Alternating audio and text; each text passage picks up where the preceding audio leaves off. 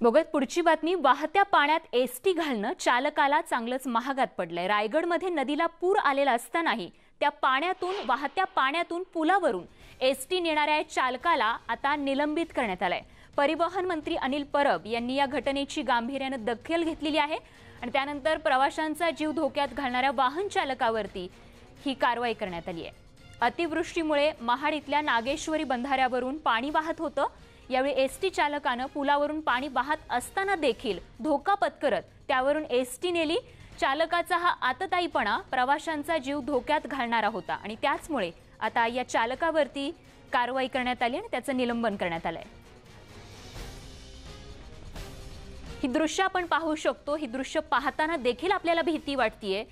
हा खरं तर ज्या पुलावरून ही एस टी त्यांनी नेलेली आहे जाण्याचं धाडस कुणी केलं नसतं खरं तर. आणि फक्त चालक हा एकटा नाही तर त्या- त्याच्या हातात कितीतरी जणांचे जीव होते. एस टीमध्ये जितके प्रवासी बसले असतील त्या सगळ्यांचा जीव धोक्यात घालून या चालकाने अशा पद्धतीनं अशा परिस्थितीतही पाण्याला प्रवाह देखील असल्याचं बघायला मिळते आणि अशा अवस्थेत त्यानं तिथून एस टी नेण्याचं धाडस दाखवलेलं आहे.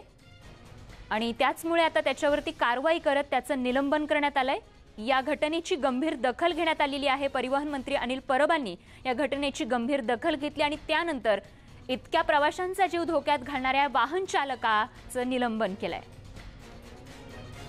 रायगडमधली ही घटना रायगडमध्ये नदीला पूर आलेला असताना या पुराचं रौद्ररूप या पाण्याचं आपण बघू शकतो. मोठ्या प्रमाणात मुसळधार पाऊस गेल्या दोन दिवसांपासून कोकण परिसरात पडतोय आणि इथल्या नदीला देखील मोठ्या प्रमाणात पाणी आलेलं असताना त्या पुलावरून पाणी वाहतंय.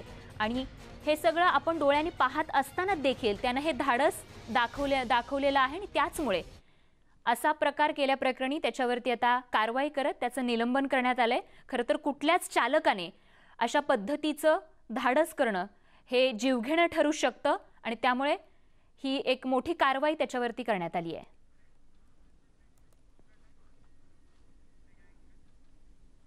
आणि या बातमीसोबतच आणखीन एक छोटासा ब्रेक घेऊन लगेच परत येतो. बघत रहा न्यूज एटीन लोकमत.